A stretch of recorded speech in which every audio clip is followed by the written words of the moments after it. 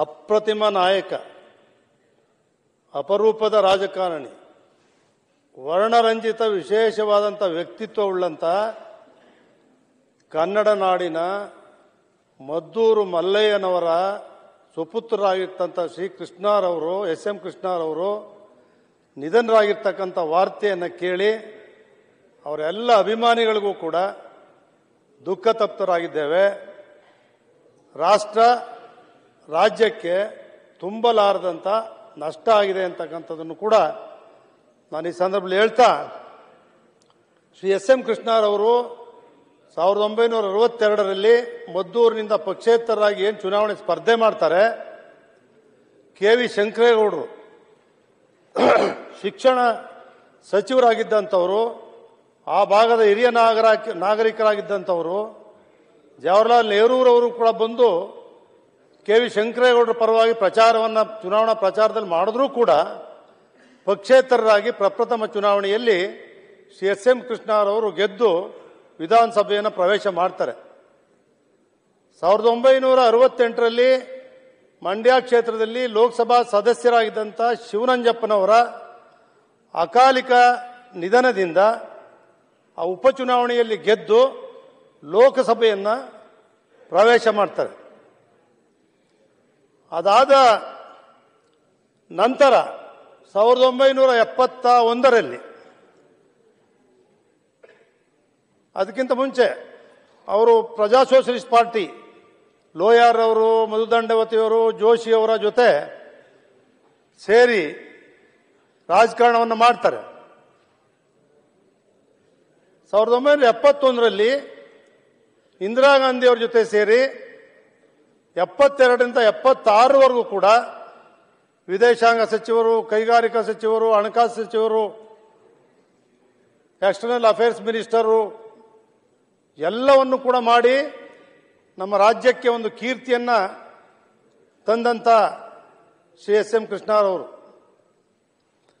ಅದಾದ ನಂತರ ಎಪ್ಪತ್ತ ಏಳರಲ್ಲಿ ಕಾಂಗ್ರೆಸ್ಸು ಇಬ್ಬಾಗಾದಾಗ ಬ್ರಹ್ಮಾನಂದ ರೆಡ್ಡಿಯವರು ಕಾಂಗ್ರೆಸ್ ಪಕ್ಷದ ಅಧ್ಯಕ್ಷರಾಗಿ ಕೆ ಎಚ್ ಪಾಟೀಲರು ಕರ್ನಾಟಕ ರಾಜ್ಯದ ಬ್ರಹ್ಮಾನಂದ ರೆಡ್ಡಿ ಪಕ್ಷದ ಅಧ್ಯಕ್ಷರಾಗಿ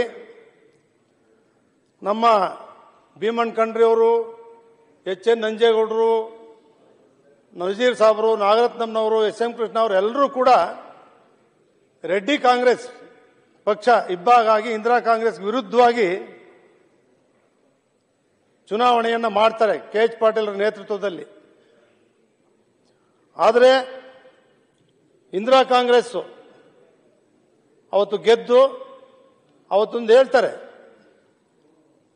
ಆ ಚುನಾವಣೆಯಲ್ಲಿ ಹೇಳ್ತಾರೆ, ನಾವು ಕೆ ಪುಟ್ಟಸ್ವಾಮಿಯವ್ರ ಜೊತೆ ಹೋಯ್ತಾ ಇದ್ದೆ ಚುನಾವಣೆಗೆ, ಎಪ್ಪತ್ತಾರರಲ್ಲಿ ತುಳಸಿದಾಸಪ್ಪನವ್ರ ಚುನಾವಣೆಗೆ. ಗೋಡೆಗಳಲ್ಲೆಲ್ಲ ಬರೆದಿದ್ರು. ನೋಡಿ ಸರ್, ಹೆಂಗ್ ತೋರು, ಹೆಂಗೆ ಬರೆದವ್ರೆ ಎಂದೆ ಹಸುಗೆ ಹಾಲಿಲ್ಲ, ಕರುಗೆ ಹುಲ್ಲಿಲ್ಲ, ಇಂದಿರಾ ಗಾಂಧಿ ಓಟಿಲ್ಲ ಅಂತ ಬರೆದಿದ್ರು. ಅದನ್ನ ಅವತ್ತು ಕೆ ಪುಟ್ಟಸ್ವಾಮಿ ಅವ್ರು ಹೇಳ್ತಾರೆ, ತಿರುಗಿಸಿ. ಚೆನ್ನಾಗಿ ಬರೆದಿದ್ದಾರಲ್ಲ ಅದನ್ನೇ. ಹಸುಗೆ ಹುಲ್ಲು, ಕರುಗೆ ಹಾಲು, ಇಂದಿರಾ ಗಾಂಧಿ ಅವ್ರ ಓಟು. ಇದನ್ನು ಕೆ ಪುಟ್ಟಸ್ವಾಮಿ ಅವರು ಅದನ್ನ ರಿಪೀಟ್ ಮಾಡಿ ವಾಪಸ್ ಹೇಳ್ತಾರೆ. ಎಂಬತ್ತನೇ ಇಸ್ವಿಯಲ್ಲಿ ಎಲ್ಲರೂ ಕೂಡ ಮತ್ತೆ ಕಾಂಗ್ರೆಸ್ ಎಚ್ ಎನ್ ನಂಜೇಗೌಡರ ಫಸ್ಟ್ ಪ್ರೆಸ್ ಕಾನ್ಫರೆನ್ಸ್ ಮಾಡಿ, ನಾವೆಲ್ಲ ಕೆಂಪೇಗೌಡರು ನಾಗರತ್ನಂನವರು ನಜೀರ್ ಸಾಬ್ರು ಅವ್ರ ಜೊತೆ ಇದ್ವಿ ನಾವು ಟೀಮಲ್ಲಿ. ಎಸ್ ಸ್ವಾಮಿ ಅವರು ನಾವೆಲ್ಲ. ಎಲ್ಲರೂ ಕೂಡ ರಾಜಶೇಖರ ಮೂರ್ತಿ ಅವರು, ಜನತಾ ಪಕ್ಷದಿಂದ ಅವರು, ಇವರು ಎಲ್ಲರೂ ಸೇರಿ ಮತ್ತೆ ಎಂಬತ್ತರಲ್ಲಿ ಲೋಕಸಭೆ ಮತ್ತೆ ಕಾಂಗ್ರೆಸ್ ಸೇರ್ತಾರೆ. ಆದರೆ ಮತ್ತೆ ಏಯ್ಟಿ ನೈನ್ ಚುನಾವಣೆಯಲ್ಲಿ ಎಸ್ ಎಂ ಕೃಷ್ಣ ಅವರು ಗೆದ್ದ ನಂತರ ಅವ್ರ ವ್ಯಕ್ತಿತ್ವ ಹೆಂಗಿತ್ತು ಅನ್ನೋದಕ್ಕೆ ತೊಂಬತ್ತೆರಡನೇ ಇಸ್ವಿಯಲ್ಲಿ ಎಸ್ ಎಂ ಕೃಷ್ಣ ಅವರು ಮುಖ್ಯಮಂತ್ರಿ ಅಂತೇಳಿ ಘೋಷಣೆ ಆಗುತ್ತೆ. ಮಹದೇಶ್ವರ ಬೆಟ್ಟಕ್ಕೆ ದಂಪತಿಗಳ ಸಮೇತ ಪೂಜೆಗೆ ಹೋಗ್ತಾರೆ.